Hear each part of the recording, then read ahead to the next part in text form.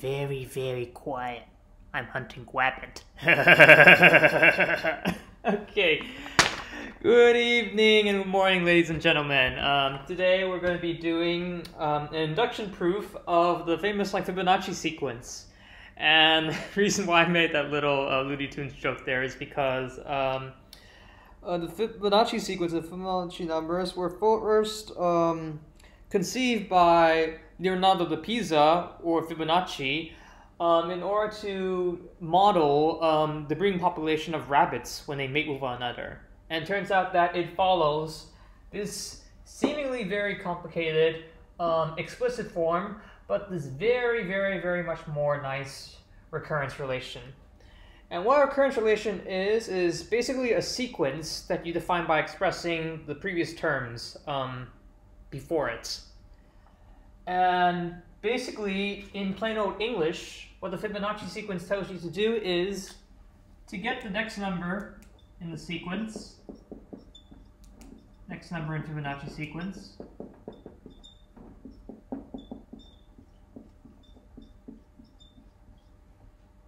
take your previous two numbers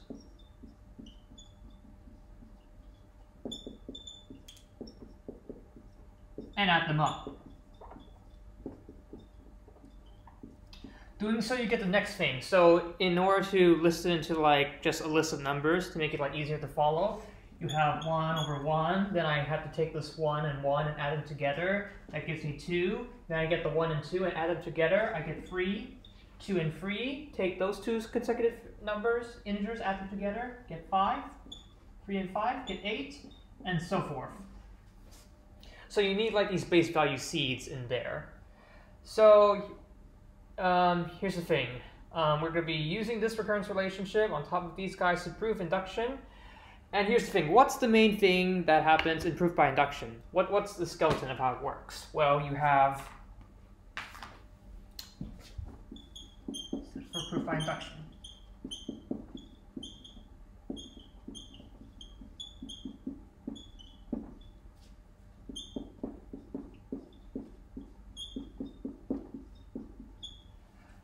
You have a base case, first off.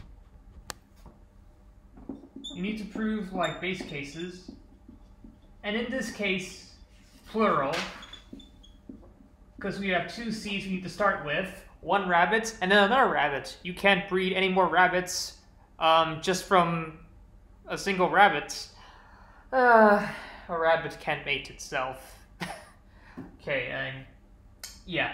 Anyhow, um, so you need to solve this for like two particular base cases, and then you need to go and you need to go and make an assumption. Assume your inductive hypothesis for any general integer, positive integer.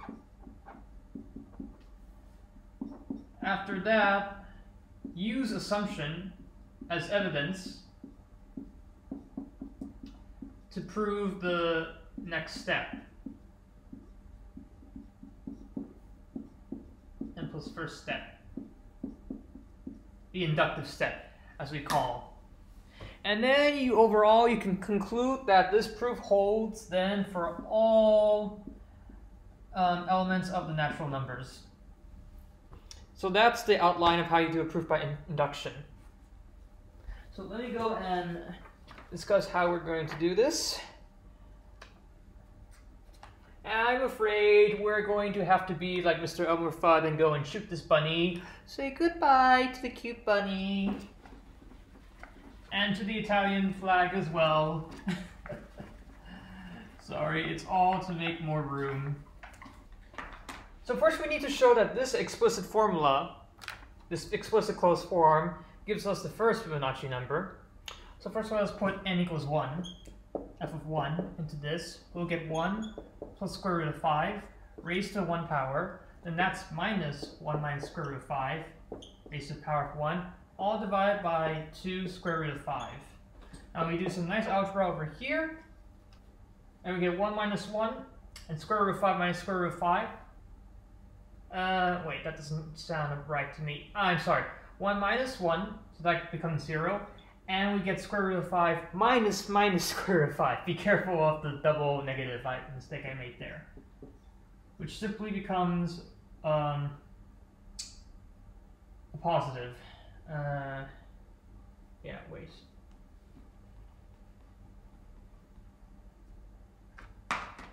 Yeah, square root of 5 minus minus square root of 5 Uh, I'll just divide by 2 square root of 5. So this simply becomes 2 square root of 5, 2 square root of 5.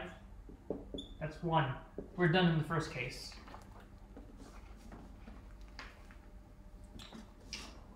Let me now go and do, let me now go and do the second case.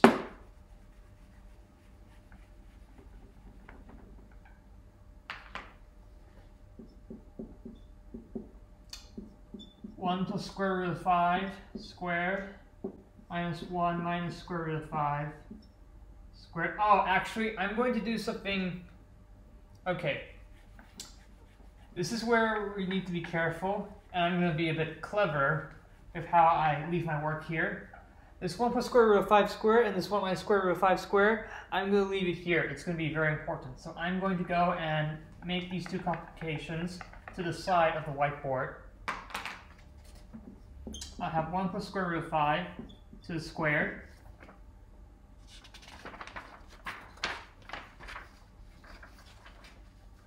And based on how it adds up, you should get simply 1 plus 2 square root of 5 plus 5, which equals 6 plus 2 square root of 5. Similarly, if you do it with 1 minus square root of 5, you get the same thing except you get um, conjugate of the sign of this radical, so you get 6 minus 2 square root of 5. And now we're to go and like find f2. Oh, that's simply this guy minus this guy, so equals 6 plus 2 square root of 5 minus 6 plus 2 square root of 5 distributed in. And that goes to 2 squared square root of 5. So that becomes 4 square root of 5, or 4 square root of 5 which once again is 1. We're done with the first two base cases. Okay, great.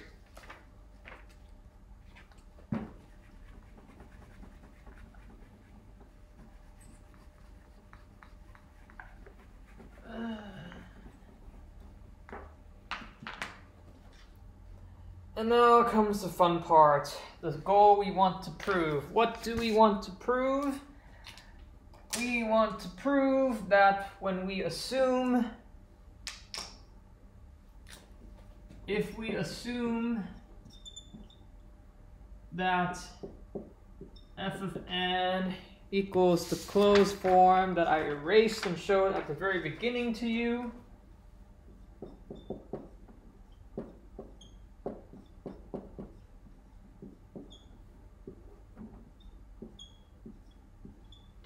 Then the n plus first case follows, which means I get 1 plus square root of 5 to the n plus 1, minus 1 minus square root of 5 to the n plus 1, over 2 to the n plus 1 times square root of 5.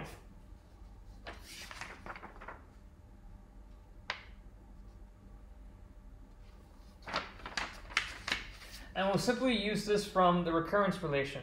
So we're only allowed to assume this. We can only use this on top of the recurrence relation, which says that f of n plus 1 equals f of n plus f of n minus 1. So actually, yeah, not only can we assume f of n, n f of n, but we can assume f of n minus 1 as well. So this guy will equal, basically, this monster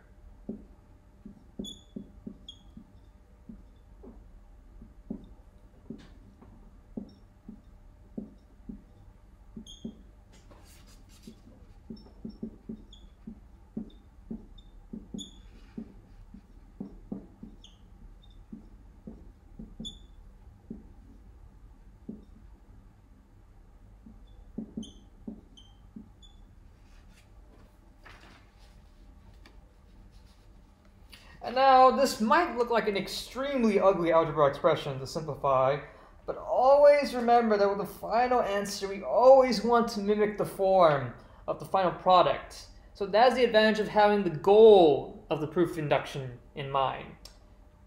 So we kind of want to turn this expression to something with the 1 plus square root of 5 minus 1 square root minus 1 minus square root of 5 divided by a power of 2 times square root of 5. The first thing we can easily do is give these guys a common denominator. Just multiply um, the first term by 2 over 2, and the second guy by 4 over 4. So in other words, I multiply guy by here, I multiply this by 2 over 2, and then I multiply this guy by 4 over 4. That way, we can both end up with 2 to the n plus 1 and 2 to the n plus 1 on this guy. So then we have a common denominator. I'll have 1 over 2 to the n plus 1 square root of 5. And then if we multiply this out, uh, let's see. Okay, yep, yep, I'll get this.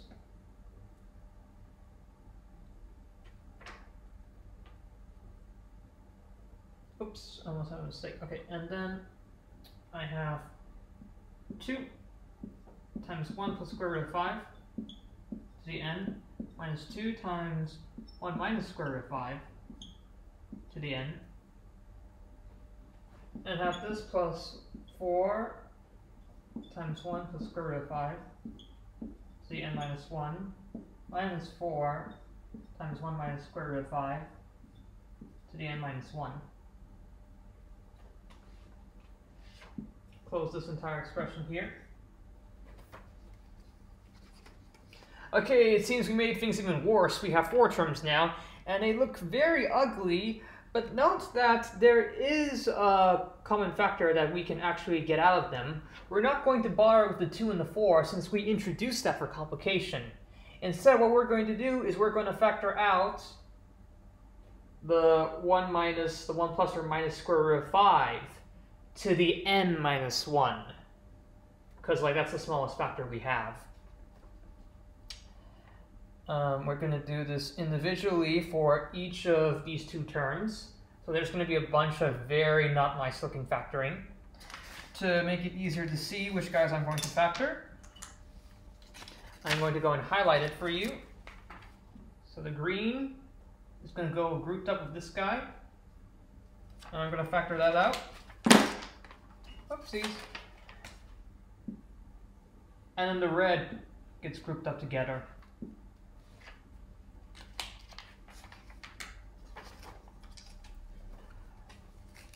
I'm not going to show this for sake of time, but if you expand this very quickly, you should end up with 1 over 2 to the n plus 1 square root of 5. Oop, had to be very careful. This crazy board. And I end up with 1 plus square root of 5 to the n minus 1 being multiplied by 2 times 1 plus square root of 5 plus 4. And now I have this being subtracted by 1 minus square root of 5 to the n minus 1 and I get almost the exact same thing here. 2 times 1 minus square root of 5 plus 4. And now is when the magic happens. Because I'm not going to do both of them. I'll just take this guy for example. Because by symmetry, in terms of the radical, you'll get the same guy with the opposite sign. If I multiply 2 times 1 plus square root of 5 plus 4, that gives me 2 plus 2 square root of 5 plus 4. But guess what that equals? 6 plus 2 square root of 5. And what do we want? We essentially want to get n plus 1 in there. So, we can use what we already proved in the base case and simply plug it into there. yep, that's essentially what we're going to do. Um, so yeah, we get 1 over 2n plus 1 square root of 5, and then 1 plus square root of 5, and minus 1, the coup de grace, this just becomes 1 plus square root of 5 squared, and then this just becomes 1 minus square root of 5, and minus 1, times 1 minus square root of 5 to the square. And voila, if we're doing just with the exponents, n minus 1 plus 2 simply equals n plus 1. So indeed, we do end up getting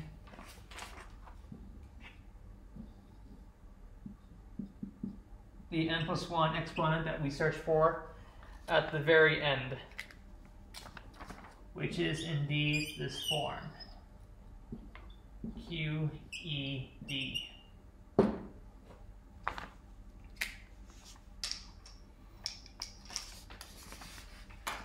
So yeah, we had to go and breed and then kill some rabbits in order to. Uh, I'm, I'm sorry, should have said it like that.